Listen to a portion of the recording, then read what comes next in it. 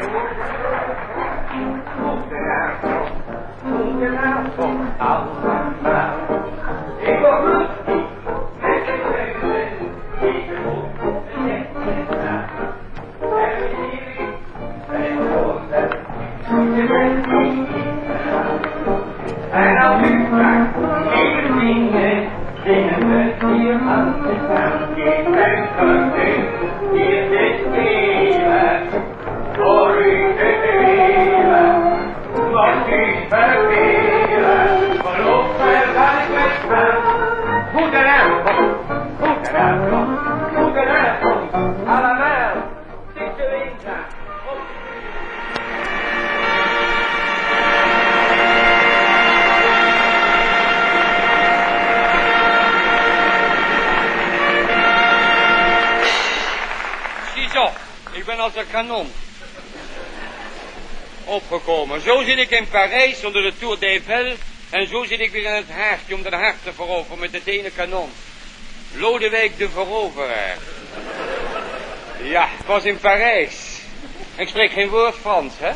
Vanmorgen kwam nog iemand tegen. Zei, je, je zou wel last gehad hebben met je Frans. Hè? Ik zeg, ik niet, maar die Françaises.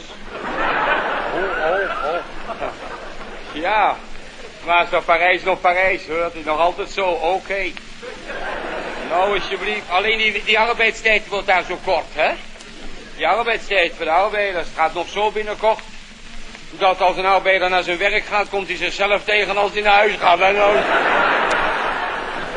Ja, ik heb het dit jaar als een 18 graad Nederlander gedragen. Ik heb een vakantie in het uh, buitenland doorgebracht.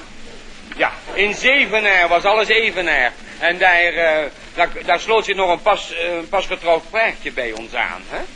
Aardig bruidje. Ik zeg mevrouwtje, wat bezielt u dat u huwelijksreis met een, met een reisvereniging maakt? Zegt ja, dan weet ik in ieder geval dat ik buiten hem ook nog wat anders te zien krijg, zegt ze.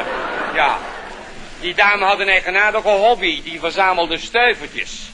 Dat man kon geen zoentje loskrijgen of hij moest eerst de nikkelstuivertje dokken. Hoe weet Ja, die, die kerel die ging als het ware vernikkeld de grens over. vernikkeld.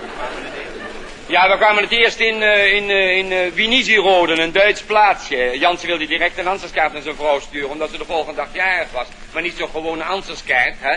Maar, want dan had hij kans dat hij per SOS-bericht teruggeroepen zou worden, hè.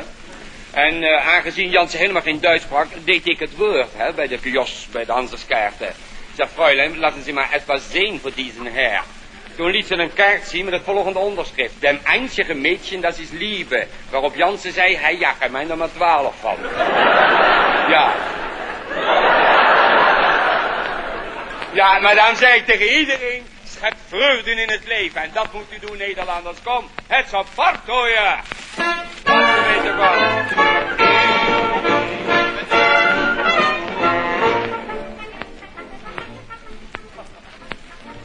Leute worden afgeschirmd.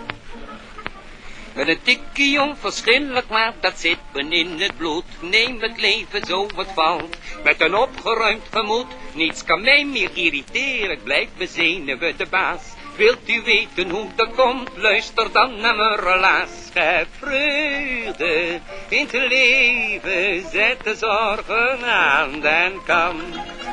Wat niemand kan geven, heb je zelf toch in de hand.